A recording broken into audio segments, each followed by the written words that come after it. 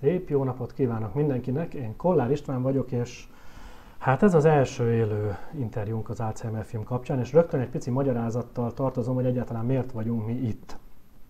Ugye én vagyok az, aki elkövettem az Alzheimer című dokumentumfilmet, hogy elkészítettem, és hát sajnos annak a, a terjesztése, annak a publikálása most a vírushelyzet miatt áll egész röviden. És mi menet közben jöttünk rá arra, hogy ugyan ez nem a film hibája, hanem inkább az Alzheimer korral kapcsolatos mindenféle információ áramlásnak a hibája, hogy a film megnézése után tulajdonképpen a nézőkben nem, nem, nem a válaszok ülepednek le, hanem plusz kérdések merülnek fel. Én ezt úgy szoktam megfogalmazni, hogy Isten igazából e, most már tudnak mit kérdezni, ha megnézik a filmet, és így e, mai vendégemmel, Menyán Miklós doktor úrra ki is találtuk azt, hogy mi úgy fogjuk járni az országot, hogy tőlünk lehet, hát főleg tőle nyilván, lehet kérdezni, és így a filmvetítés, meg a körülbelül egy órás beszélgetés utána ez valahogy így, így kerek és így egész, és, és ezek nagyon jó hangulatban szoktak telni ezek a beszélgetések, és, és valahogy, valahogy úgy érezzük, és a nézők főleg úgy érzik, hogy, hogy így kapnak a lehető legtöbbet. Na most a vírushelyzetre való tekintettel mi most nem tudunk menni, mert sem mozi, se semmi, úgyhogy kitaláltuk azt közösen, hogy így a Facebook, YouTube és minden egyéb social media, ahogy szokták mondani, segítségével tulajdonképpen mi most azt az egy órát megadjuk önöknek, kérdezhetnek nyugodtan kommentben, én itt a telefonomon próbálom nézni magam mellett, amit önök kérdeznek, illetve már jött egy csomó kérdés gyakorlatilag, úgyhogy lesz miről szerintem beszélnünk, és akkor hadd mutassam be beszélgető partnerem, jó barátom, nem tudom milyen titulust. Mindegy, elég ennyi. Oké, okay. menj hát Miklós doktor urat, aki voltál te már minden, minden. orvosként, azt hiszem. Ha szabad így mondani, csak akasztott orvos. Okay. De, de én azzal szoktam neked hízelegni mindig, hogy nagyobb nevet nem nagyon tudok mondani ebben az országban Alzheimer témakörben. Te ugye Franciaországban szocializálódtál, lehet, hogy ezért is állsz úgy a dolgokhoz, ahogy, ahogy nagyon sokaknak kellene. Hát igen, azt gondolom. Azért annyit hadd tegyek hozzá, hogy hát Magyarországon is vannak nagyon sok olyan kollega, akik, ha már kollégákról beszélünk, akik magas szinten ismerik már az, Alzheimer problémát, a demencia problémáját, az biztos, hogy gyakorlatban nagyon sok lehetőségem volt információkat gyűjteni, amiket be tudtam építeni aztán a, az Alzheimerrel kapcsolatos tevékenységeimbe valóban igaz. Franciaországban ö, volt lehetőségem megismerni ezt a, ö, hát a betegséget, és igazából előtte nem is nagyon tudtam róla. Megmondom őszintén, orvosként nem nagyon ö, tudtam erről a betegségről, illetve amit úgy általában tudunk ott viszont nagyon magas szinten volt lehetőségem megismerni. Lehetőségem volt egy olyan képzésben részt venni, amit a Strasbourg Nancy Egyetemen két évig folytattam, ahol egy teljesen új szemléletű, egy teljesen új ismeretanyagot adó képzésben vettem részt, és ez megváltoztatta, illetve nem is megváltoztatta, hanem felhívta a figyelmemet arra, hogy ezzel a betegséggel érdemes kell foglalkozni, főleg miután hazajöttem Magyarországra, és láttam azt, hogy hát elég sok ismerethiányos emberről, kollégáról, egészségügyben dolgozókról, de a hozzátartozókról is sok ismerethiányos emberrel találkozva gondoltam azt, hogy esetleg el, el lehetne indítani egy olyan kezdeményezést, ami Franciaországban van, ez az Alzheimer Café. Erről egy, nagyon röviden csak, hogy, hogy mert, mert meglepődésemre ezeken a vetítéseken szoktuk hallani, látni, hogy, hogy olyanok, akik évek óta ápolnak otthon Alzheimeres beteget, nem is tudják, hogy létezik egy ilyen nem mozgalom, mert mindig ez a szó jut eszembe. Mi ez, egy hozzátartozói ez egy, klub? Egy, egy, igen, egy hozzátartozói klub, egy hálózat, egy civil kezdeményezésként induló valami, aminek az a célja, hogy azokat az embereket, akik ebben a, ezzel a problémával szembesülnek, nincs megfelelő ismeretanyagok, és éppen ezért nagyon sok olyan gondot, amit különben meg tudnának megfelelő ismeretek révén oldani, nem tudják. És ugye az Alzheimer Cafénak ezen túlmenően az is a célja, hogy ezeket a dolgokat, amik bennük van, a betegséggel, az ápolással kapcsolatos problémáikat van, amikor szégyelik, nincs kivel elmondani, mert az biztos, hogy nem fognak ezek a hozzátartozók olyan helyen mesélni erről a dologról, hogy ő nekik milyen kálváriájuk van, ami, ami egy olyan idegeneknek, amit, akikre nem tartozik, hanem egy olyan közösségben, ahol hasonló a problémakör, hasonlók a gondok, hasonlóan nehéz elviselni sokszor azokat a dolgokat, amik ilyenkor érik a hozzátartozókat, sokkal könnyebben tudnak ismereteket cserélni. Nem beszélve arról, hogy ezeken az Alzheimer kafékon a szakemberek is részt, részt vesznek, és könnyebben, jobban megismerik a hozzátartozók, a betegek problémáit is a személyes találkozások révén.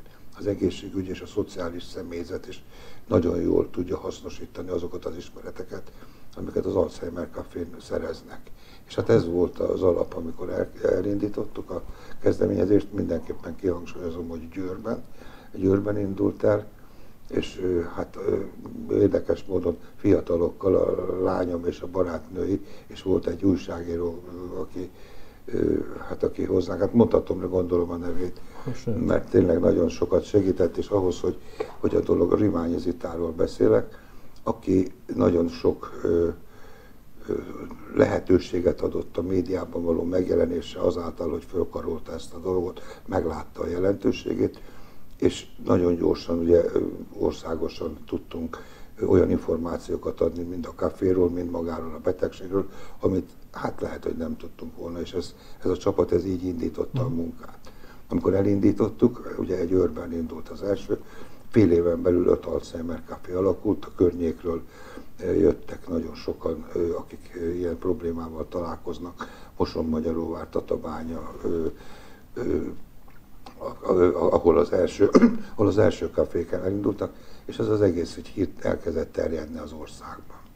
De most már van vagy száz, nem? Száz hát nem tudjuk, nem tudjuk pontosan, bár most a hálózatot akartunk szervezni, bocsánat, hálózatot akartunk szervezni, csak ugye a Covid miatt itt teljesen felborult az egész rendszer, és most egy jó pár év eltelte után a döntéshozók közül is felismerték azt, hogy ezzel a dologgal foglalkozni kell, úgymond felkarolták az ügyet, tovább is fejlesztették, mert mi a hálózatot, amit szerettünk volna létrehozni, nyilván nem volt rá lehetőségünk a Covid miatt, viszont a minisztérium segítségével azok, akik ebben a munkában jelentős súlyjal vettek részt, át tudták venni ezt a feladatot, ha szabad így fogalmaznom, és ezáltal ugye a kezdeményezés teljesen kiterjedt országosan, szervezetten működik már.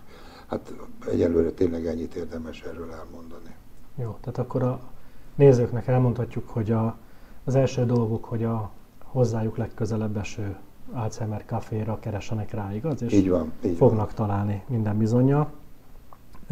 Mielőtt itt a kérdésekbe belemerülünk, illetve hát a válaszokba remélem, a, a francia társadalom felkészültebb? Többet tud erről, mint a magyar, vagy ez, ez általános? Egy mindenképpen azt kell, hogy mondjam, nem csak a francia társadalom, hanem Nyugat-Európa és az Egyesült Államok is ezt a problémát a súlyánál fogva kezeli. Mit jelent az, hogy a súlyánál fogva kezeli? Azt, hogy felismerték, hogy ennek milyen társadalomra, családra, társadalomra való hatása van ennek a betegségnek, mert ez a betegség egy nagyon különleges betegség, pontosan azért, mert nem ismerjük az okát. Nem tudjuk gyógyítani, és az is egy nagyon lényeges dolog, hogy maga a betegség egy ideggyógyászati betegség, úgymond neurológiai betegség, a maga a tünetcsoport, ami miatt viszont nehéz a betegekkel foglalkozni, az pszichiátriai dolog. És ez a kombináció egy nagyon olyan szituációt alakít ki, hogy a beteg állapot, és ami nagyon lényeges, a beteg állapota folyamatosan romlik.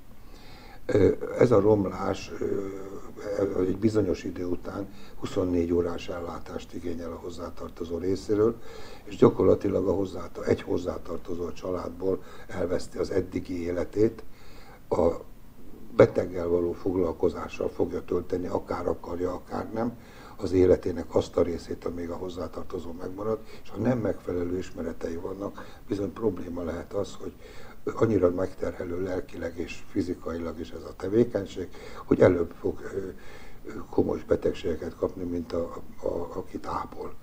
És ez egy, ez egy nagyon lényeges dolog. Ezt felismerték Nyugat-Európában, és azt is felismerték, hogy ez a betegség az előbbieken túlmenően tíz évente hatványozottan jön elő, és ehhez, hogy ezt meg lehessen, ebben lehessen valami lépést tenni, világszerte programok indultak, ami a francia mintát illeti, amiben én is részt vettem, illetve aminek a következtében rájöttem arra, hogy milyen fontos ezzel a problémával foglalkozni, azt a Sárközi elnök a negyedik Alzheimer programmal próbálta megoldani, ami egy fantasztikus nagy dolog volt. De ugyanez van Belgiumban, Svájcban, a frankofon területeket ismerem, mert ott is részt szoktam venni megbeszéléseken, konferenciákon, meg hát nyilván ugye Nyugat-Európa többi országában, és arra, arra is rájöttek, hogy ennek milyen anyagi vonzatai vannak. Mert nálunk ugye nem beszélünk arról, hogy a családban is mit jelent az, hogy egy ilyen beteg,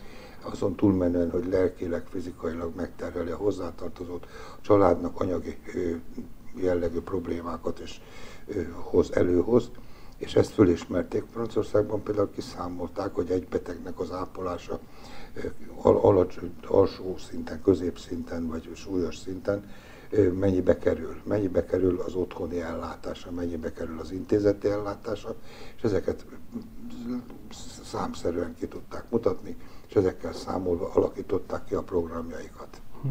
Hát én a kérdésekből azt látom, hogy a, az emberek javarésze egy-két kérdést leszámítva otthon ápolja a beteget. Azt hiszem, hogy ez, ez világszerte, világszerte így van. Ha belegondolunk, ugye világszerte, hadd mondjam akkor, hogy világszemléletben hogyan van, és hogy mi, nálunk miért jellemző ez.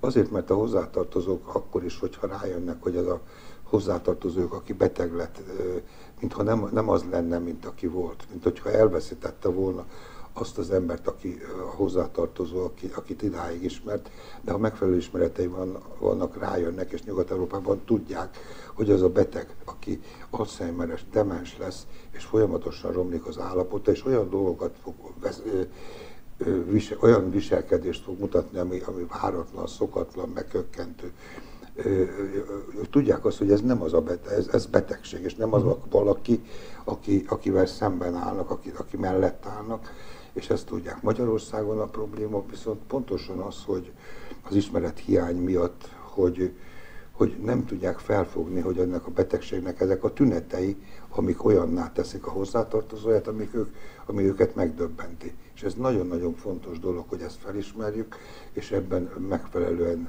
gondolkodjunk. Jó, kezdjük szerintem, mert jó, a nézők okay, jó, okay, nyilván arra várnak. Kezdem a, nyilván azzal, hogy a, a film, filmemet dicsérik, jó? Egy ilyennel hadd kezdjem. Hogy dicsérjem meg én is, nem, akkor jó, nem, nem azért mondtam, csak hogy, hogy a vége a, a fontos ennek a hozzászólásnak. Egy Marcsi nevű ö, Facebook kommentelőnk írt, hogy amennyire nyomasztó volt, mármint maga a film, hiszen feltépkedett régi érzéseket, pontosan annyi erőt is adott a jövőmhöz, mert láthattam azt a hatalmas szeretetet és önzetlenséget, amit a hozzátartozók sugároztak. Ha tehetném százszor is megnézném, sőt, kötelezővé tenném szakmailag a szociális hálóban és az orvoslásban dolgozóknak. Annyi kérdésre rávilágított, ami eddig fel sem merült bennem. Hát én, abszolút. Ez abszolút, a lényeg szerintem ennek a filmnek, hogy... Igen, ezzel egyetértek, és valóban azért a filmnek az elfogadása is szerintem eléggé ambivalens volt, ha szabad így fogalmaznom, mert voltak olyan döntéshozói, döntéshozók között, akiknek ez a film azért nem tetszett, mert ez a valós problémára hívja fel a figyelmet, megfelelő érzelmi felkészítéssel, egy komplex képnek az adásával, ami, ami, amit, amit a, a film nézői átélve átalakítják a saját gondolkodásukat. És ezért nagyon hmm. lényeges dolog. Azoknak, akik valóban azért mentek el, mert, mert szükség volt arra, hogy még többet tudjanak, pontosan azért adott sokat, mert a filmből sok mindent lehet megtanulni, tehát egy oktató jellegű dolog is volt, de nagyon sokan voltak fiatalok, több vetítésen, ugye én is ott voltam, és megdöbbentő volt, hogy voltak fiatalok, akik, akik addig nem is gondolták. Ugye volt egy olyan sztori, hogy a film előtt kint a folyosón álltunk, és jönnek a fiatalok a pattogatott kukoricával, mert azt gondolták, hogy hát ez egy ilyen pattogatott kukoricás film, mozi, és, és megdöbbentek rajta, kukoricát nem is ették meg, legalábbis volt, aki kifele jövet. Ez volt, és utána mondták, hogy, hogy fantasztikus, hogy ez, ez, ez, ezt ők most így megláthatták, el sem tudták képzelni. Csak azért, mert hallották, hogy Alzheimer megnézik, és ő bennük is az első reakciójuk az volt, hogy, hogy jó Isten, de szerencse, hogy ezt láttam, mert ha, ha bárki a környezetemben e, ilyen betegségben fog szenvedni, akkor tudom, hogy mit kell vele csinálni, vagy legalábbis, ha nem tudom, de nem fog megijedni tőle. Körülbelül ez volt a végkonklúziója a fiataloknak, és ezért merem azt mondani, hogy ez a film tényleg nagyon jó, e, ilyen összetettsége miatt, és tényleg érdemes lenne mindenkinek, aki, akit érdekel, meg aki érintett, és hogy ez, ezt innen merítsen ismereteket magának. Így van. Na, Csilla írta nekünk, hogy édesanyámmal együtt több mint tíz éve küzdünk ezzel a szörnyű betegséggel. Május végén újabb csapásért minket, mivel kiderült, hogy nem csak Alzheimerrel, hanem egy súlyos daganatos betegséggel is meg kell küzdenünk. Vélelzáródás miatt életmentő műtétet hajtottak végre, amelynek során sztómát kellett kialakítani. Ehhez kapcsolódik a kérdésem is, mert jelenleg a legnagyobb problémát az jelenti, hogy édesanyám nem érti meg, hogy a sztómazsáknak mindig ott kell lennie, ezért azt állandóan leszedi magáról. Létezik olyan megoldás, ami ezt megakadályozza. Valószínűleg ez elég speciális probléma, de nekünk most ez állandó küzdelem. Nagyon érdekes, mert nekem volt itt bőnyben létalapon volt egy olyan betegem, egy hölgy, aki az anyukáját ápolta, és való őnek is szómája volt, Hát az addig, amíg, amíg aktívabb a beteg, a, a betegség középső stádiumától a súlyosabb stádiumig, hát bizony sok mindent nem lehet vele kezdeni, mérhetetlen nagy türelem kell, de ő nála például egy ilyen betegnél figyelmét sem tudjuk úgy elterelni, mint ahogy egyéb, dolog, egyéb betegségek esetén, illetve egyéb tünetcsoportok esetén tudnánk. Tehát maga, erre olyan megoldást mondani, hogy vegyem be ilyen gyógyszert, vagy kössel le, meg ilyet nem mondok, mert ez nem így működik, nincsen. Hát egyet Tehát, tegyen, gondolom én, ne próbálja az, meg, megmagyarázni neki, hogy ennek Abszolút, hát az abszolút, az, az, az tudni kell, hogy, hogy az Alzheimeres beteg, sőt más típusú demenciákban is ö, fontos ö, ismeretnek kell, hogy legyen, hogy a beteggel azért nem vitatkozunk, mert ő neki azok az emlékképei, amiket elő akar hívni a hosszú távú memóriájából, azok elvesztek.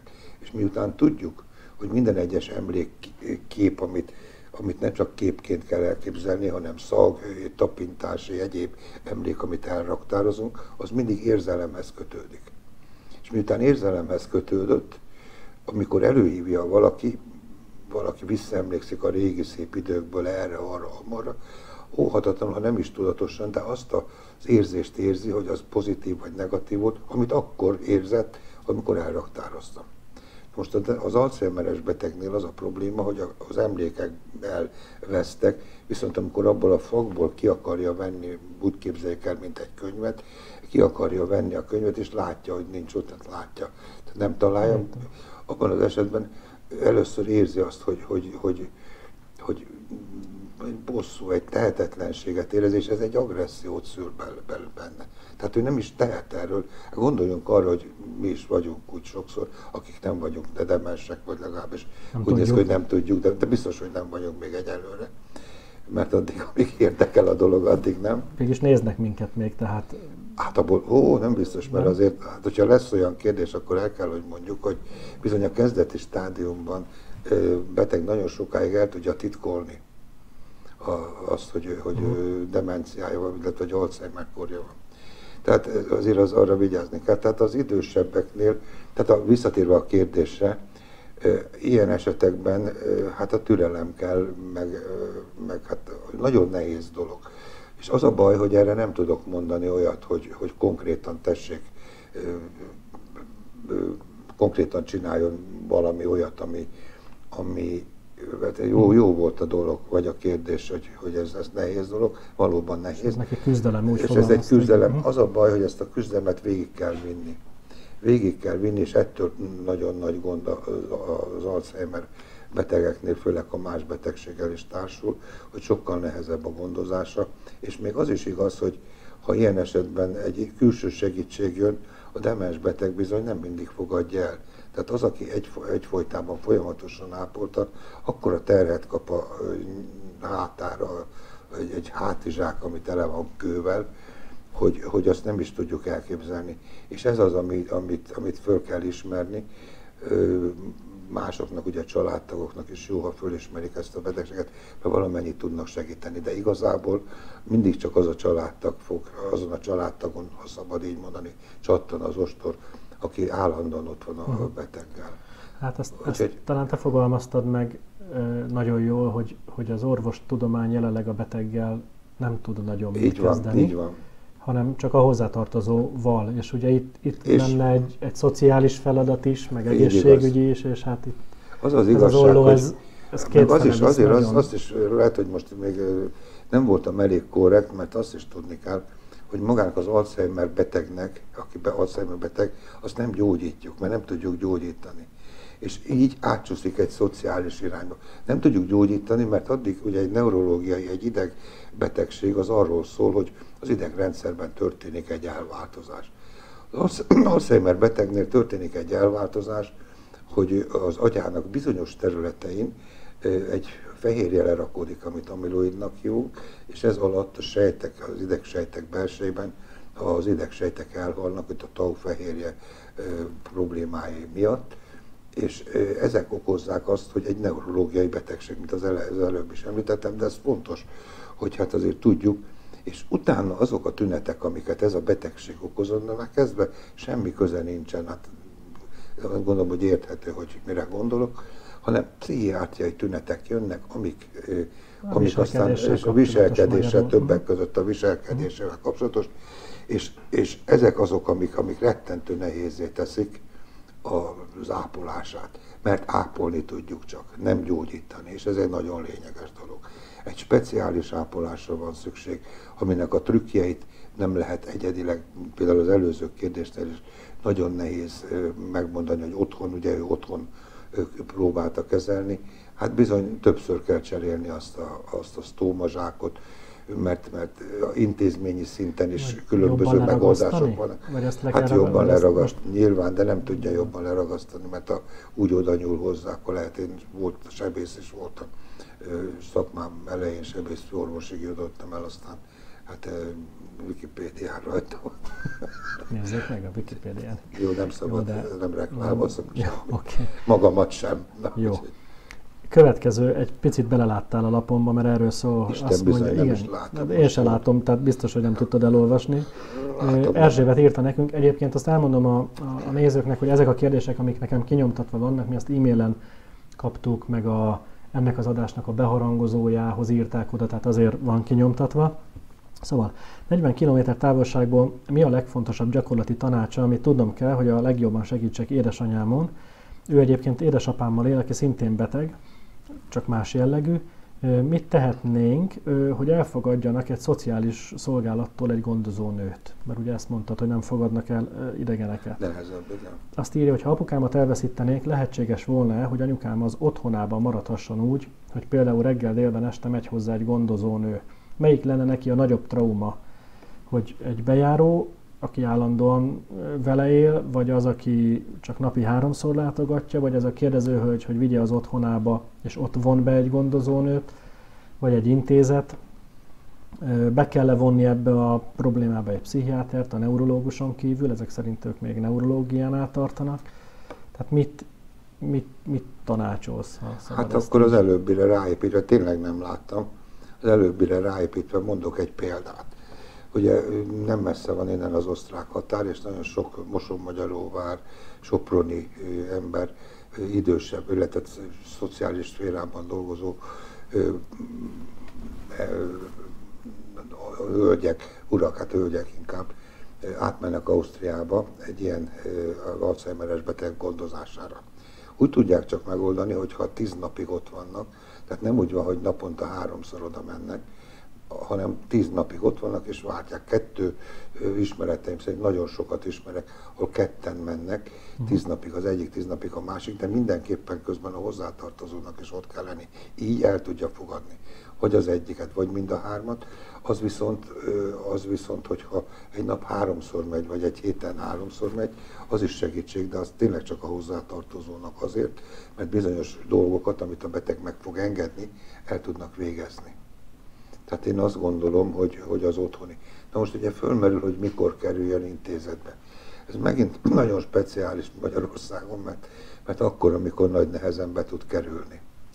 Ez, ez egy nagyon komoly probléma. Mhm. Hála Istennek azért az elmúlt öt évben nagyon sokat változott az intézeti elhelyezéseknek a lehetősége, és, és az intézeteknek az Alzheimer, illetve demens betegeket elfogadó lehetősége, mert ugye 5-10 évvel ezelőtt, 5 évvel ezelőtt is sokkal nehezebb volt a demens beteget egy ápolási otthonba betenni, mert ugye az ismeretek hiánya többek között, meg az, hogy nem is mértük föl Magyarországon, hogy mennyi ilyen beteg van. Most viszont az élet már bebizonyította, hogy bizony-bizony ez a betegség terjed, nem úgy, mint a Covid, hogy aktuális legyek, de, de olyan mértékű terjedése van, ami, ami, ami mindenképpen egy, egy közös stratégia kidolgozására kell, hogy kényszerítsen minket, és ez, ez, ez egy borzasztó ö, nagy gond, hogy így, így alakul ez. Hát ez sokkal rosszabb, mint a Covid minden persze, persze. egyébként. És akkor még annyit Igen. ugye, hogy, a, hogy, azt, hogy na most miután a legelején arról beszéltünk, hogy, hogy miért otthon, hát azért, mert az embereknek a javarésze tényleg szereti a hozzátartozóját, és otthon akarja. Másik oldalról lelkismeret furdalása van, hogyha be kell tenni intézménybe. Franciaországban, Nyugat-Európában megvannak azok a stációk, amikor be lehet tenni, és megfelelő intézményekbe. Van középsúlyos betegeket ápoló intézet, van nagyon súlyosakat ápoló intézet, ahol, ahol a betegeket el tudják látni. Nálunk ez nincsen, hanem nálunk az van, hogy, hogy amikor sikerül berak, berakni valakit előjegyzés alapján, akkor, akkor. Ő tud uh-huh. bekerülni. Ö, azt azért elmondom, hogy a, a nézőknek elsősorban, hogy a, a filmben van egy család, ahol a, a férfi a beteg, és akkor még kezdődő betegségben szenvedett, teljesen tudatában is volt egyébként a betegségének, és én akkor azt tanácsoltam a családnak, hogy, hogy már most így a, a betegség kezdeténél kezdjenek el B-tervnek egy intézetet keresni, mert, mert el fognak abba az állapotba jutni, amikor már be kell, hogy adják intézetbe, mert nem biztos, hogy el fogják tudni látni ezt otthon önállóan. Ők akkor azt mondták nekem, hogy ú, nem, mert hát hiszen hát itt van, hát beszélgetünk, stb. És sajnos azóta romlik az állapota, és ö, ők is már igazat adnak nekem, úgyhogy tulajdonképpen mindenkinek legyen egy ilyen, ilyen B-verzió lehetőség Abszolút. szerint a tarsolyban, hogy, hogy, hogy intézet, aztán maximum Ez nem, de, de általában akkor megy a kapkodás, amikor már ott van, hogy nem bírja a család, eljut a beteg arra a szintre, amit már, ahova már eljut, amit úgyse hiszünk el az elején, hogy eljut, de eljut, és, és akkor tényleg megy a fejveszt a kapkodás, és akkor nagyon sok a fél év, egy év nagyon sok. várakozási idő, főleg úgy, hogy most a vírus helyzet miatt Nekem fogalmam sincs, hogy mi van ezekben az intézetekben, ez, ez mert borzalmas, ők se tudják maguk az intézet se szerintem. Hát meg arra gondol, abba gondoljunk bele, hogy akár mennyire is a demens beteg, az Alzheimeres beteg nem emlékszik semmire, ez hülyeség, mert nem így van. Nem ő úgy azt nem úgy emlékszik, viszont ahhoz a hozzátartozóhoz, akihez ő hozzákötötte magát, és onnan bekerült egy intézetbe, azt tudni kell, hogy amikor bekerül egy intézetbe, rendszeresen be kell járni annak a hozzátartozónak, és a nap jó részét ott tölteni, ha azt akarják, hogy azok a kellemetlen tünetek, amik az Alzheimer-kód kísérik, az éjszakai szaladgálás, az agresszió és egyebek, a, hozzátartozó jelenlétének követke, köszönhetően nem olyan manifestek, nem olyan elő, hogy manifestet, az nem olyan hirtelen jelentkező, manifestet nem akarod, de nem. Na, csak hirtelen ezt, ezt a gondolatot akartam. És ugye az a baj, hogy, hogy ilyenkor ezek a, ezek a betegek észreveszik azt, hogy, hogy nem az a hozzátartozó van, és a Covid ugye azért borzasztó, nem lehet látogatni. Ugyanakkor a hozzátartozónak is lelkileg nagy probléma, hogy nem látogathatja, mert minden hozzátartozó, aki berakja vagy elintézi, hogy a, a hozzátartozója intézetbe kerül, akarja, nem akarja, óvatlanul mindenkinek lelkismeret furdalása. Amiről szintén kell beszélni, mert nem szabad, hogy lelkismeret furdalása legyen annak a hozzátartozónak, aki berakta egy intézetbe a, a hozzá, a, a szülő, vagy aki, uh-huh. aki, aki érintett a családban, hanem tudomásul kell venni, hogy egy bizonyos szint felett be kell tenni. Az, hogy ő neki lelkismert furdalása van, az valamit jelent, de akkor is, ha nincs semmiféle komoly ok, akkor is ez az emberekben lévő, úgymond lelkismert furdalás, ez, nehez, nehézé teszik. És a Covid ezért kutya. Megint lehet látni, hogy nem csak a betegség, az, ami, vagy a beteg az, aki kárát látja sok mindennek, hanem a Covid miatt, hanem a hozzátartozó is. Mert, mert, hát. mert akarva akarva. Én nagyon sok emberrel beszéltem, meg beszélek, akik arról panaszkodnak, hogy, hogy hogyan tudnának bemenni, vagy hogy, hogy ők nagyon nehezen viselik el lelkileg, hogy nem tudják, mi van a hozzátartozóval, nem mehetnek be. Vannak olyan intézmények, illetve hát voltak, csak ugye a szigorítások, meg egyéb miatt nem nagyon nehéz ebben a dologban hát állást foglalni és tanácsot is adni, de vannak intézmények, ahol lehetőség volt, hogy a betegek kint a kertben egy kerítésen keresztül, hát nem uh-huh. úgy, mint a börtönben nyilván, ah, csak hát látták, beszélhettek egymással, aminek mérhetetlen uh, nagy szerepe, jelentősége van. Tehát a Covid és az Alzheimer betegség jelenlegi állapot, vagy helyzete az, az, az így, így is megközelíthető, sajnos így van. Jó, ez most Facebookon jött, már így az élőadást nézve egy Alex nevű nézőnk, aki azt kérdezi, hogy szklerózis multiplex RR formában vagyok beteg, 13 éve. Néhai nagyszüleim Alzheimer betegek voltak anyai ágról. Van-e aggódni való 34 évesként?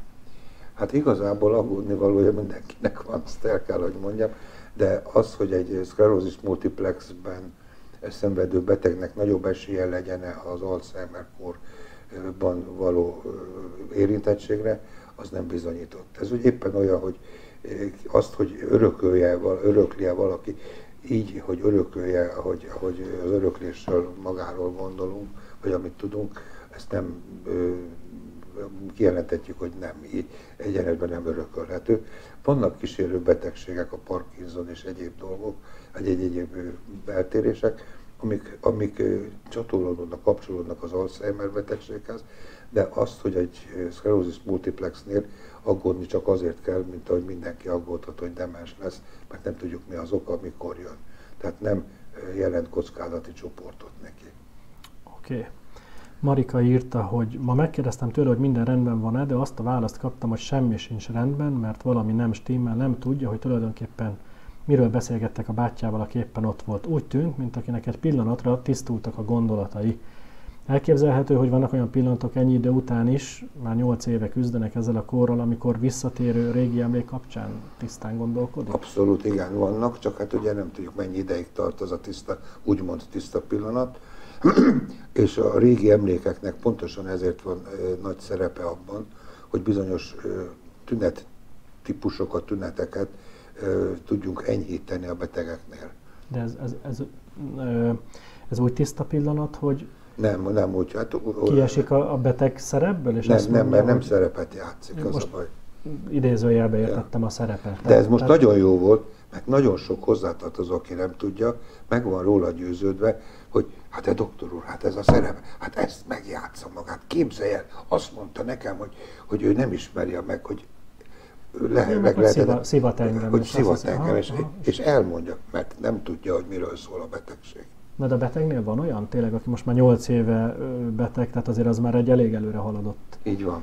állapot lehet, hogy egyszer Mit csak... jelent, hogy mit, mit ért alatta, hogy Mit ért alatta, hogy... Hát ő hogy... úgy érezte, hogy tiszta gondolattal elmondja, hogy, hogy valami nem stimmel. Tehát érzi, hát az, hogy nem stimmel, azt elmondhatja, hát elmondhatja, de, de nem, hát nyilván, hogy nem úgy, nem úgy fog ő gondolkodni, mint a, aki elvárja, vagy aki szembeül vele. De ha szabad, mi mit értünk a tiszta pillanat alatt? Hát az, hogy egy olyan újra emlékét... ő, és megbeszéled vele, hát hogy ő mondjuk beteg. tartósan ilyen nem, nem jellemző egyáltalán. Ja, jó, mindegy, igen. Jó, Mondjad, nem, nem akarom nem lehet, folytani a szót, bár rengeteg kérdés van még. Ö, meddig él egy Alzheimer kóros ember? Folyamatos gondozás ellenére és fogy, és izületei már ö, nem az igaziak, gyengül a járása. Hiába etetem, rohamosan épül le, nem is beszél, csak néz. Na hát ugye ez egy típusos dolog, és az Alzheimer abszolút jellemző, hogy a maga a romlás, maga a, a betegségnek a lefolyása az egy folyamatos romló állapotot jelent. Az, hogy kinél mennyi ideig tart, van akinél 5 év, 5 évre szoktuk első lépcsőként a végső stádium kialakulásáig való eljutást, de van, aki 10 év vagy 15 évig is elhúzódhat. Nagyon sok mindentől függ ez. Na most itt a kérdéssel kapcsolatban azt mindenképpen ö, meg kell, hogy ö, vagy beszéljünk uh-huh. róla, az azt jelenti, hogy ugye folyamatosan romlik, és amikor már olyan stádiumban van, hogy már e, enni sem akar, az a végső stádium felé vezető, tehát a vége, az élet végét, végét jelenti már. Ilyenkor nagyon fontos azt is tudni például, hogy az ilyen beteget nem kell etetni, agyon etetni, meg etetgetni, mert nem fog tudni. Az Alzheimeres beteg a legvégén, amikor már nagyon-nagyon súlyos állapotban van, már enni is, ha szabad így mondani, elfelejt. És nem is tudjuk megetetni. Gyakorlatilag éhen is halhat, mert nem, nem tudjuk megetetni. Tehát azért nagyon fontos dolog ez, hogy tudjuk, hogy, hogy a, van egy olyan stádium, amikor, amikor már nem lehet segíteni, és ezek a tünetek borzasztók. Én nekem az egyik legnagyobb lelki élmény volt még, amikor megismerkedtem a betegséggel, és elkezdtem kint ugye, ismereteket szerezni, utána a speciális Alzheimer egységnek a vezetője lettem, ahol, ahol hát naponta találkoztam az ilyen jellegű dolgokkal. Mi egy közép stádium betegségekben küzdőkkel foglalkoztunk, de ott volt mellettünk a, a, a súlyos betegekkel kapcsolatos, és a hozzátartozó jött hozzám, hogy szeretné, hogyha a papának egy gyomorszondát beépíteni, vagy be, berakatnánk, mert hát már nem lehet etetni. És akkor ugye én először persze, ó igen, hát igen, segítsünk mindenképpen. Meg is lett a gyomorszonda, és hát a papa ott kapta a gyomorszondán keresztül az ebédeket, a, az infúziót, tehát romlott az állapota. És még egy, legalább egy négy hónappal elhúztuk azt, hogy meghalljon, amikor tudtuk, hogy úgyis meghal. És akkor mondták a kollégáim, akik egy kicsit másképp gondolkodnak, hogy nem biztos, hogy ez nem, nehogy valaki arra gondol, hogy eutanáziáról beszélünk, uh-huh. de az, hogy nem biztos, hogy a mindenáron való ö, erőltetése annak, hogy az ilyen beteg még tovább éljen, nem biztos, hogy az jó neki, meg nem jó senkinek sem. Nagyon nehéz döntés, de az, tudni kell, hogy a szemléletünket úgy kell alakítani, hogy erről tudjunk. Na, ha már eutanázia, bár ez egy rossz átkötés, de egy picit a kórházakban való kezelésről, hogy ö, általános dolog, talán ezt el, el lehet mondani, vagyunk ennyire bátrak, hogy azért a kórházban, kórházban, ha bekerül egy ilyen beteg, akkor ott, ott leszedálják. Tehát nem ászkáljon. Mert, mert nem tudnak mert más nem tudnak vele, tehát most én nem, nem úgy mondom, hogy bűnösek, de na most azt tudjuk viszont, hogy egy ilyen betegnek mindenféle nyugtató, és majd a gyógyszerről is lesz kérdés, de hogy hát az, az gyorsítja a halálhoz vezető utat elég azt is, azt is, keményen. meg az állapotot is. Hát nyilván ez együtt Tehát, jár, hogy ez nem lehet, hogy a, a kórházban mind a mellett ez egy picit eutanázia? Nem. Ez nem, nem, ez, nem, ez az ismereteknek a nem megfelelő, akármilyen profi kórház, egy sürgősségi nem várhatjuk el azt, hogy, hogy egy demens beteget, akit nem, nem, nem gyógyítanak, meg nem gyógyítani kell, hanem ápolni kell, bekerül a sürgősségre, nyilván, hogy nem azzal foglalkoznak, meg nincs is rá kapacitás, hogy, hogy ö, ö, türelem, szeretettel, ott mint a gép végig kell csinálni a vizsgálatokat, hamar eredményt elérve, ami teljesen érthető. Éppen ezért Nyugat-Európában legtöbb helyen sürgősségi mellett vannak demensekkel foglalkozó sürgősségi ellátást nyújtó részlegek, ha szabad így mondani, mert szabad, és ezek, ezekben látják el, ahol megvan rá a lehetőség, meg a kapacitás. Tehát nálunk kórházakat azért nem szabad kórházakon számon kérni, mert, mert eleve a képzésben sem nagyon jelent meg a, a hosszú ideig a demenseknek az ellátása, meg sokáig az voltak, hogy azt gyógyítjuk, nem gyógyítjuk, ápolni kell.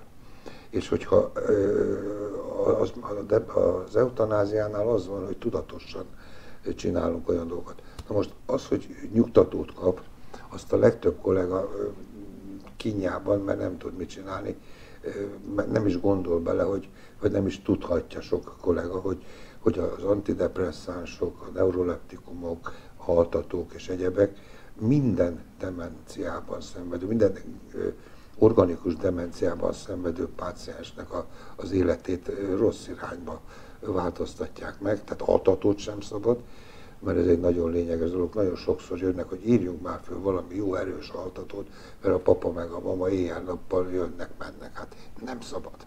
Annak ellenére, hogy nagyon okos tanácsot akkor se tudunk adni, hogy mit csináljon vele, vannak trükkök, belül lehet beszélni, de igazából nincs, nincsen. Na most azzal, hogy, hogy a degeneratív demenciák között, amikhez az Alzheimer is tartozik, van egy olyan demencia típus, ami a frontotemporális szindrómánál, hogyha neuroleptikumot adunk, azzal véglegesen egy olyan állapotot alakítunk ki, ami nem csak, hogy a hamarabbi halálhoz vezet, hanem a, addig, amíg meg nem hal, addig az életminőség olyan mértékben romlik, hogy azt vissza se lehet fordítani. Tehát nagyon fontos, hogy erről tudjunk.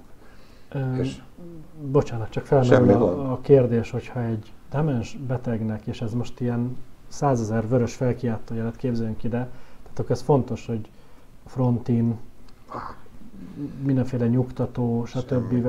csak ront, pillanatilag megoldjuk, abszolút, de egyébként rontunk. Nem oldjuk meg. Nem oldjuk meg, mert hát utána sokkal agresszívebb lesz meg. Nem is, nem is fog elaludni tőle. De felmerül bennem az a kérdés, Nagyon hogy, jó, vannak hogy... bizonyos esetek, de, de kategorikusan el kell, hogy utasítsuk, hogy ez a megoldás. Vannak, amikor valóban egy, egy altatóval, egy pár, de hát ez inkább olyan állapotokban kell, csak amikor valami más jellegű dolog, más jellegű betegség miatt. Tehát rutinszerűen nem szabad. Jó. Ha én szedek ilyeneket, Hát az, az egy nagyon jó dolog, akkor vezet? hát egy tíz év múlva, ha nem is. De nem, most azt komolyan kérdezem. És halál komolyan mondom, hogyha valaki elkezdi a Xanaxot szedni, igen. 40 éves korában, ez szedi 5-60 éves koráig, ő maga sem fogja észrevenni, meg a család sem nagyon, mert de le fog épülni. Egy demencia alakul ki, ugye ezt megint tisztáznunk kell, hogyha már nyilvánosságból beszélgetünk, mi az a demencia, mert, mert ugye hát most ezt mondjuk a hogy, hogy most hogy lehet az, hogy demenciában fog szenvedni. Hát azért, mert a demencia maga az nem betegség. Fura, most így hirtelen kimondom, de az egy nem betegség. Az egy tünetcsoport. Ez olyan, mint a has, hasfájás. Most ha valakinek vakbélgyulladása van, vagy epeköve, vagy ilyesmi, fáj a hasa, és ez olyan, mintha azt mondanánk, hogy, hogy ugye van egy epe kólikája, görcsöl az epé, hogy hasfájás, hasfájás betegségben szenved. Hát nem, az egy tünet.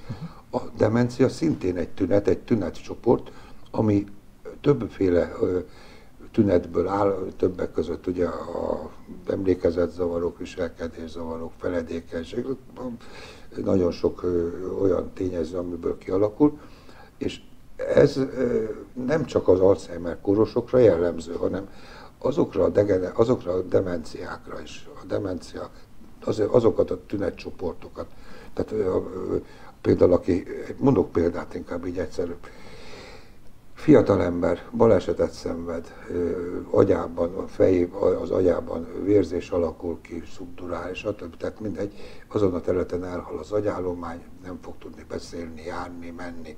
Ez is demencia, úgy hát hívják, hogy traumás demencia. Például, nagyon, nagyon jó. Uh-huh akkor van, aki gyógyszertől, az alkoholtól is, ha nem is olyan agresszívan az alkohol, de egy idő után ezt csinálja. Gyógyszerek, bizonyos gyógyszerek csinálnak ilyet. Akkor ami, ami nagyon fontos, és ami sokáig Magyarországon a legjellemzőbb probléma volt, az úgynevezett éreredetű vagy vaszkuláris demencia, aminek a következtében ugye az, azon a területen, ahol egy agyvérzés, a stroke, az agyinfarktus, embólia, stb. következtében elhalt agyi területnek a kiesése, működésének a kiesése miatt jönnek elő olyan tünetek, amiket szintén demenciának hívjuk. Úgy hívjuk, hogy maszkuláris demencia, éreredetű demencia.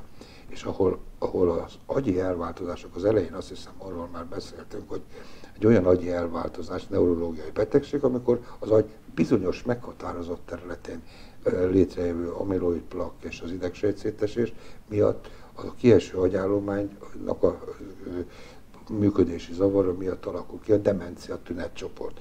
Tehát látjuk, hogy a demencia az egy összefoglaló kép, és a betegségek közül például az Alzheimer a demencia egyik legsúlyosabb formája. Sőt, akkor elmondom a nézőknek, hogy mindenki volt már egy picit demens talán, aki iszik alkoholt, ugye? Mert hogy a részegség Addig igen, az utána az egy komoly... Csak elmúlik, de a részegség, persze, mint olyan, az, demencia, az, igen. Az az. Nem emlékszik az ember, hát valóban ilyen. Hogy a, ugye, ami most sajnos egyre jellemzőbb a fiataloknál, a kábítószer. Az, az viszont tartósabban okozza a dolgot, de honnan elindultunk, a, a Xanax, meg a hogy hosszú szedése, így ezek után, hogy én ezt elmondtam, hogy, hogy mi a demencia, akkor azt hiszem érthetővé válik, hogy a mérgezéses demenciákhoz tartozik, ami nem feltétlenül olyan tünetcsoport van, mint a, az Alzheimernél, de 10 év, 20 év szedés után biztos, hogy feledékenyebb lesz, viselkedés zavarai vannak, amit lehet, hogy észre sem vesz a, környezete, mert együtt él vele. Csak a szomszéd, vagy akivel tíz éve nem találkozott, találkoznak az utcán, azt megy haza, tehát a Mari, láttad, tehát ez a Mari teljesen hülye lett és akkor nem arról van szó, ami ugye általában jellemző szokott lenni, hogy azért már utálom most demensnek fogom nevezni, hanem tényleg az lett, de csak az látja, aki régen látta. Tehát demenciát okozza. Csak egy nagyon röviden, hogy az Alzheimer ugye azt mondjuk az elmúlt 5-6-8 évben megduplázódott az Alzheimer Igen, betegek száma. Abszolút. és ma már a világon is, meg Magyarországon is az Alzheimer, illetve úgy a degeneratív demenciák, nyilván ebből az Alzheimer a leggyakoribb, lett a vezető, szemben azzal, hogy itt 20-30-40 éven át a, a vaszkuláris, az ér alapú volt. Tehát magyarul igen. többen kaptak agyvérzést, mint lettek Alzheimeresek. Így Nagyon egyszerűen lefordítva, de ez fordult, ez a kocka. Mert, ja. Ö, ez csak röviden, hogy, hogy tudjuk, hogy miért? Persze, hát nyilván.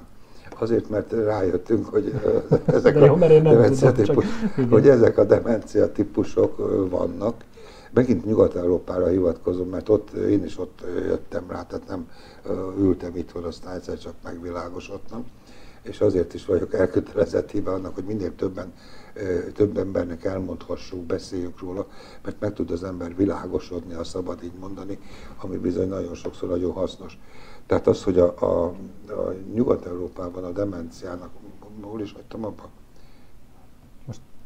Ez, igen, a megvilágosodásnál. Megvilágosodás. Nem, hogy miért lett vezető Igen, de most nem a... jó, zicser volt, ezt nem, igen. többet nem csinálok ilyet. Igen, az az igazság, hogy, hogy azért, azért van, mert Nyugat-Európában, itt hagytam abba különben, Nyugat-Európában a differenciál diagnosztika az sokat fejlődött. Mit jelent ez? Azt jelenti, hogy egy demenciában szenvedő betegnek az, hogy milyen típusú betegsége van, vagy demenciája van, az előbb elmondottak, agyvérzés okozta vagy degeneratív valami agyi lerakodás miatt, azt is tudni kell, hogy a degeneratív demenciáknál minimum öt olyan csoport van, amiről érdemes tudni, van több különben, amikor az agyban kialakuló elváltozások miatt ugye kialakul a demencia tünetcsoportja, és ezek a, a, ezeket a tüneteket a differenciál diagnosztikával kiszűrve megfelelő statisztikák vannak.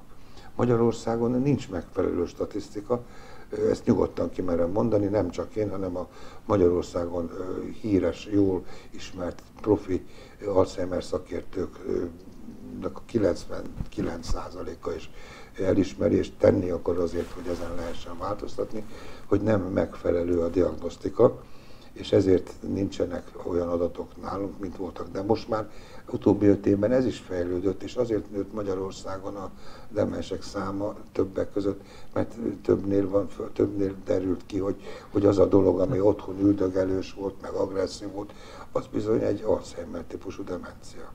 Nagyon, tehát nagyon le, valószínű, hogy eddig is volt ennyi beteg, Persze, csak esetleg biztos, nem hogy tudtunk. volt, ne, igen, egyrészt, másrészt meg valóban ne felejtsük el, hogy hatványozottan nő a betegek száma, hogy telik tennek az évek. Most nem akarok hülye adatot mondani, de Franciaországban 5 év alatt, 5 év alatt megduplázódik tíz év alatt meg hatványozottan nőtt. Uh-huh. Tehát nem, nem akarok számolni, mert most nem, nem Minden, jut eszembe pontosan. Drasztikusan Ott, Igen, és ez, és ez egy félelmetes dolog, és ezért van, hogy több van. Tehát te tudjuk, ez az uh-huh. Hát én olvastam. Hogy egy agresszív betegség ilyen. Aha. Én olvastam egy adatot, hogy 2050-re, ami azért már lassan itt van, tehát mire én korba kerülök magyarul, hogy minden harmadik családban lesz?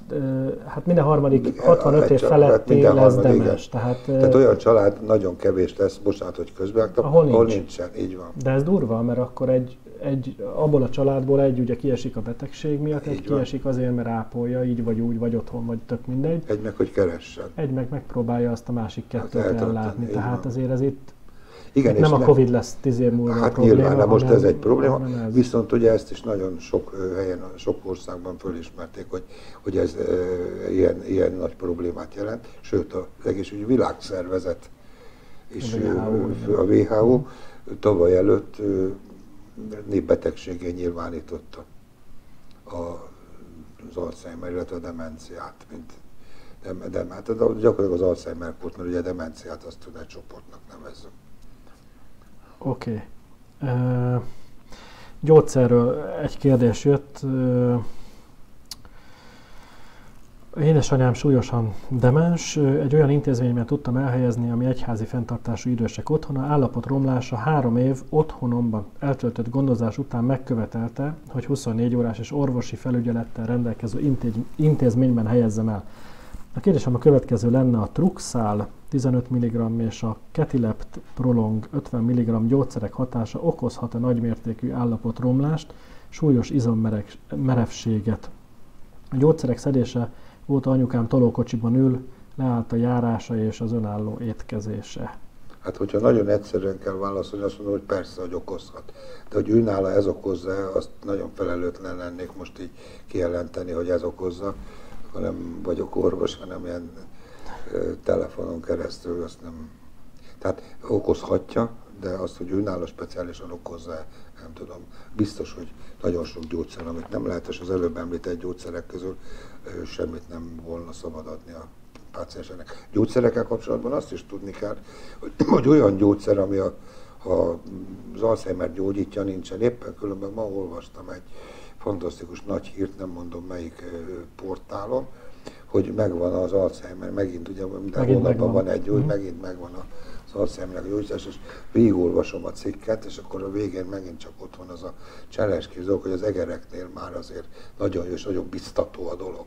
És ez borzasztó, hogy, hogy addig, amíg... Viszont van egy gyógyszer, amit most az Egyesült Államokban kipróbáltak, ezt ismerem, mert küld, kaptam én is tőlük egy véleményezés nem az Egyesült Államok központjában, hanem a magyarországi megbízottjukkal beszélve. Úgy láttam, hogy volna egy ígéretes valami, a nevét nem mondhatom, de ez a gyógyszer, ez a középstádiumban valóban lehet, hogy be fog jönni, mert azok a gyógyszerek, amiket idáig használtunk, 16 vagy 17 éve, de most már lehet, hogy 20 éves gyógyszerek, három nagy csoportra lehetne talán osztani. Ezek a gyógyszerekről kiderült, hogy hát nem sokat érnek, illetve 50%-ban vagy használ, vagy nem használ. De a haszna sem az, hogy gyógyítja, hanem bizonyos tüneteket ö, mérsékel, csak ezt sem lehet bizonyítani, úgyhogy ezeket a gyógyszereket az utóbbi két évben hivatalosan ö, hatástalannak nyilvánították. Hát én a gyógyszerem mindig azt tudom mondani, ö, nekem édesanyám a, a film készítése közben lett Alzheimeres, ha szabad így mondanom, ő szeret mindenféle gyógyszert, ami, ami lassít, és ő nem egész három év alatt hunyt el, még a filmemben van egy bácsi, 13, 13 évig, és soha nem szeret lassító gyógyszert, tehát hogy, hogy ezt a kommentár nélkül bólintok egyet. Oké, okay, rendben van. Ö, nem igazán orvosi dolog, kérdi Elizabeth nevű nézőnk, hogy de nagyon tud bosszantani, amikor felhív édesanyám egy régi barátnője, és előhagyja, hogy van gyógymód az Alzheimerre, de az orvosoknak nem kell hinni, ő nekik nem a gyógyítás az érdekük. Hogy lehet az ilyen embereket udvariasan leszerelni? Hát, ez egy nagyon jó kérdés.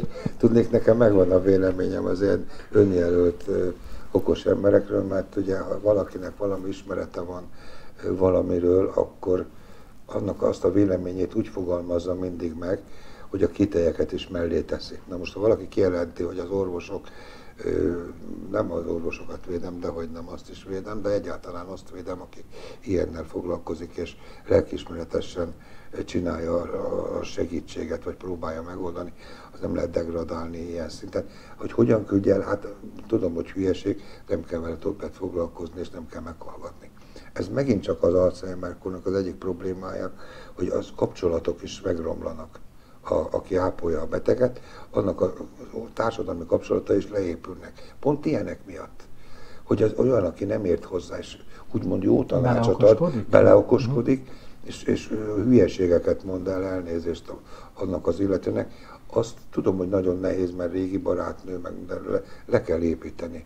Mert előbb-utóbb úgyis az lesz, hogy annyira fogja, meg fogja utálni, hogy, hogy állandóan beleszól olyanban, amihez nem.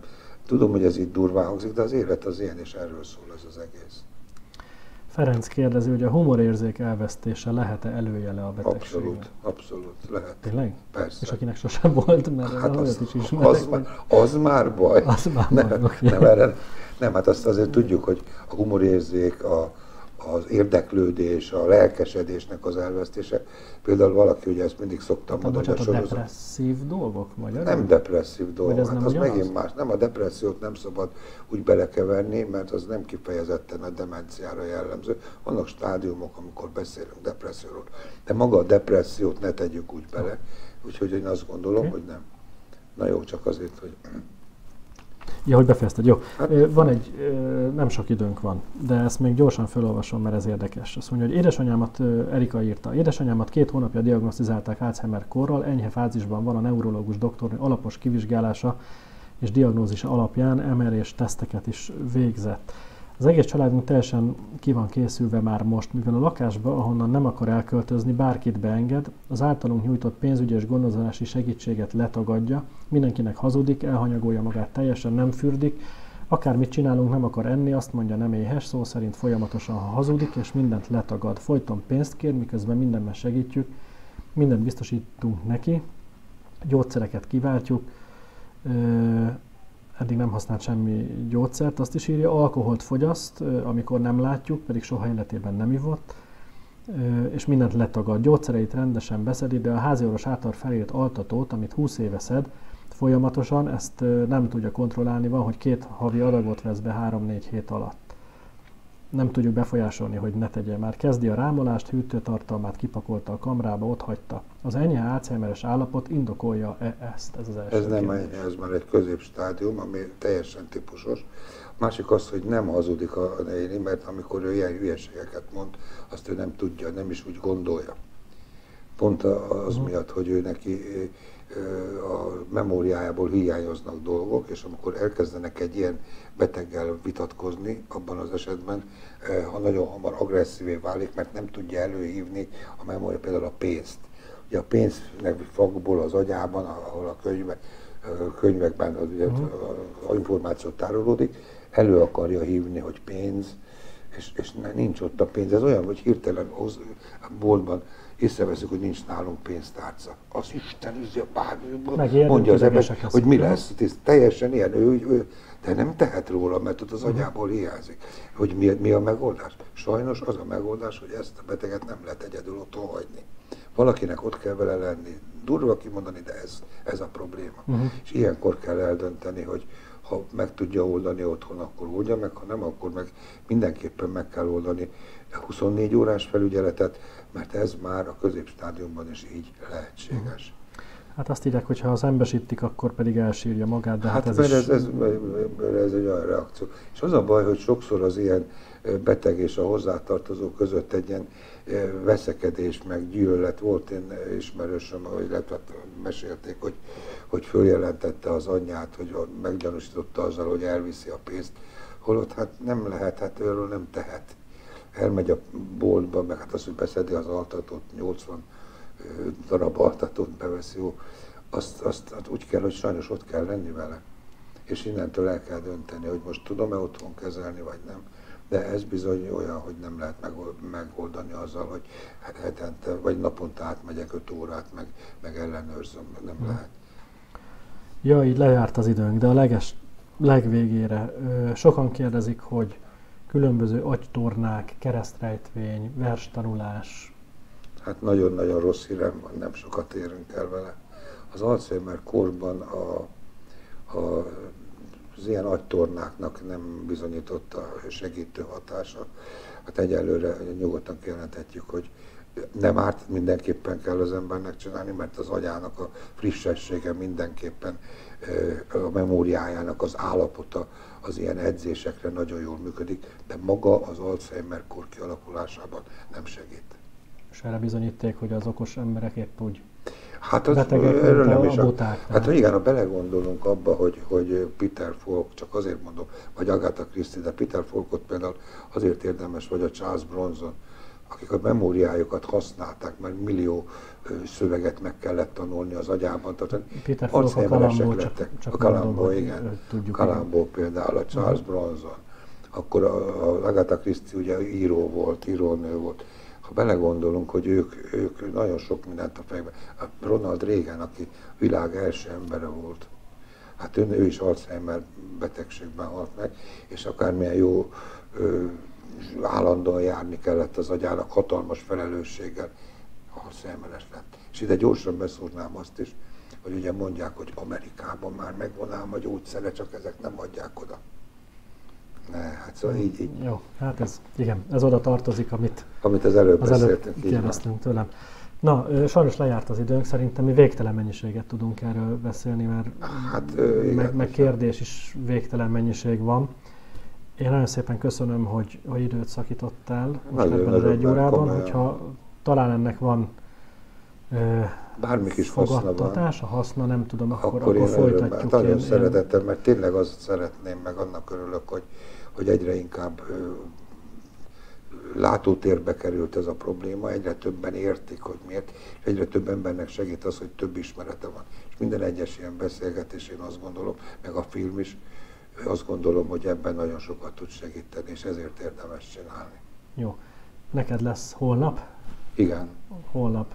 Felvétel lesz, fel, de élőben megy? Nem élőben megy, most a tegnap, ja, múlt héten lesz felvétel. Ja, értem, mert a rádió Bécsbe. Bécsben, ja, fogsz menni. Mondjuk. Ja. Majd kimondom, én Jó, nem érdekes, de nem, azt hittem, hogy élő lesz, és mondom, akkor nem, holnap nem, nem, nem, most, nem, most elő, múlt héten volt élőben egy órás, most két órás lesz a Bécsben, és egy más szerkesztővel, ami, aminek azért örülök, mert az az egy órás, az tetszett a másik szerkesztőnek, egy más típusú műsorban, és én nagyon örülök neki, hogy hogy ott most egy más megközelítésből lesz lehetőség. Viszont, hogyha megtudom, a, hogy mikor kerül ez adásba, akkor, akkor én azt az Alzheimer pontosan. Jó, Jó. Ö, én meg a rádióbést nagyon szeretem, lehet online is ö, hallgatni őket, nem kell budapestinek lenni, úgyhogy ez működik. Miklós, nagyon szépen köszönöm. Nagyon szeretettel köszönöm én is, és nagyon örülök, hogy, hogy a kérdések azt bizonyítják, hogy van értelme, hogy ilyen beszélgetéseket lefolytassunk. Hát a negyedét sikerült is megtárgyalnunk. Na, köszönöm szépen, hogy, hogy itt voltak, megnéztek minket. Ez a műsor egyébként visszanézhető, mert itt élőadás közben százan is kérdezték, hogy vissza lehet nézni. Igen, vissza lehet itt is, és a YouTube-on is. Úgyhogy én nagyon szépen köszönöm, hogy, hogy itt voltak, és hogyha ha folytatjuk, akkor úgyis hírt adunk róla. Köszönöm szépen, és viszontlátásra!